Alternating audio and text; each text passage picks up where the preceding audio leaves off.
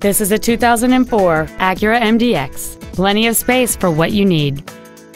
It has a 3.5-liter six-cylinder engine and an automatic transmission.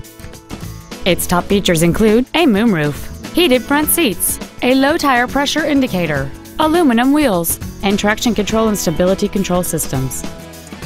The following features are also included air conditioning with automatic climate control, cruise control, heated side view mirrors, a CD player, leather seats, an illuminated driver's side vanity mirror, an engine immobilizer theft deterrent system, rear curtain airbags, a keyless entry system, and this vehicle has fewer than 69,000 miles on the odometer.